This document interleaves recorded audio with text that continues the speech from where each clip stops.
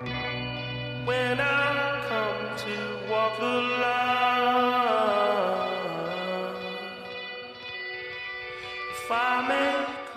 uh, Go to any questions. I just wanted to make a, a, a an opening remark.